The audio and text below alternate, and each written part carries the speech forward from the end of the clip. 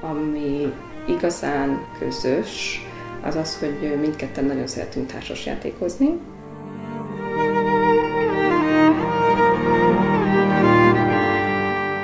Fontosnak tartok egy párkapcsolatban, hogy mi, hogy mi együtt többek vagyunk, mint külön-külön. Én biztos vagyok benne, hogy minden kapcsolatban kell a kompromisszum, meg a együttműködés, de én úgy érzem, hogy tímvel, amikor ezeket meg kell hoznom, akkor ezek jó kompromisszumok.